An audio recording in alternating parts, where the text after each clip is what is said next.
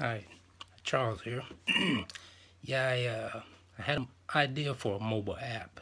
Um, I didn't really know how to go about uh, implementing this app. Uh, so I, you know, I checked the web for a few companies and and whatnot. But uh, you know, it wasn't until I uh, talked to the people from uh, Auxano Global that you know I really thought serious about it because after talking to them, you know, uh, it really made me feel like uh, they were interested in, in what I wanted to do. And, uh, you know, they gave me uh, pretty much a, an idea of what, what it would look like when, uh, when the app was, uh, was complete.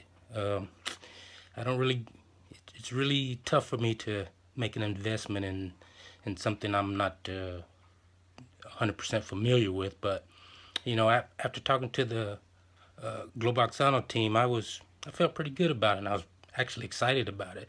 So I, I did it, and all through the process, they were they were very informative. They let me know what was going on, and even the portions that I really didn't understand.